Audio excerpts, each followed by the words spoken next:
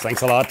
I'm very pleased to be here on stage, and I would like to thank, first of all, I'd like to thank Ardian and Capital on Stage team. It's great that it's finally the concept of reverse pitching, this brutal concept is here in Copenhagen.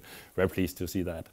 Um, first of all, what I would like to talk about uh, is a bit about, we heard this thing about team, team, team, and you hear that as founders, you hear that all the time from VCs. That is what we want, team, team, team.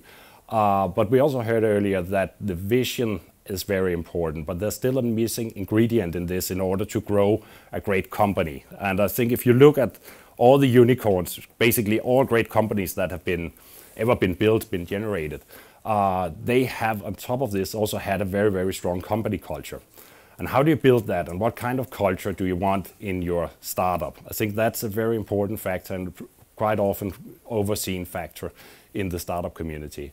Uh, first of all, you want a performance-based culture in your uh, in team. You need to set out a vision.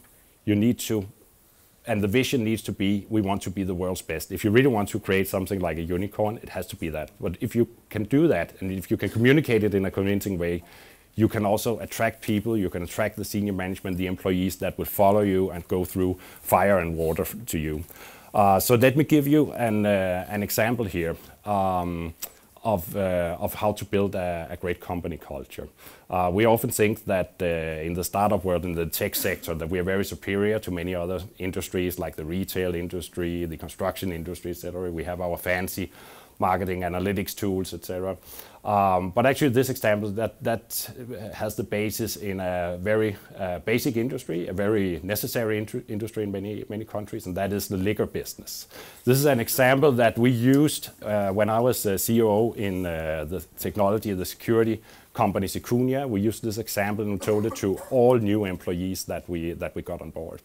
And the, basically, the story it's it starts in the little town of uh, Zacapa in Guatemala, where they where there was this uh, 100 year celebration for the company and the people in the city of Zacapa, they got together and they said, we want to make the world's best rum.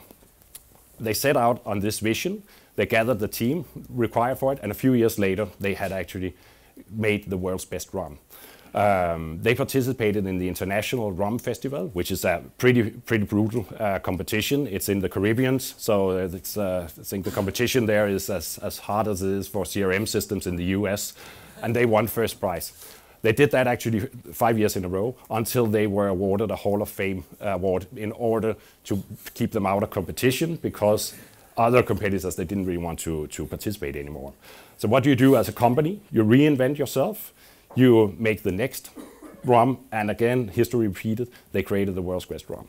What happened a few years later was that the company, it burned down. All the manufacturing facilities, everything was lost, recipes, etc., etc. And what they did again was get the team together, have the right vision here, have the right company DNA, and build again the world's best rum. So that's the kind of story that I think is very, very useful also in a startup context in order to attract the right people to your to your to your startup and especially the, the right senior management and motivate them, build a performance culture, bonuses on all levels in the company. That is that is very required. So a little bit about Northcap. Um, VC fund based here in Copenhagen. We have four partners in the fund, all with a background from the enterprise software world or the telco world. And that's the reason why we focus on B2B and B2B2C businesses. So that differentiates us a little bit. We don't do pure play consumer games. And basically the deciding factor is that it has to be a business that is paying the bill. Um, we do uh, investments in, uh, in, in, seed stage. We do that in uh, Denmark and Sweden, and we do Series A, we do Series B in our other key markets, which are Germany and, and Finland. And we do investments from uh, half a million euros up to 10 million euros. Um, we actually always try to make the funding rounds large enough for the company to uh, stay on path for the next 18 months. So we think it's much more constructive for, for a startup to go out, chase customer money instead of chasing VC money. Uh, it also generates a lot more value to your, to your startup, actually getting, getting the right customer money in.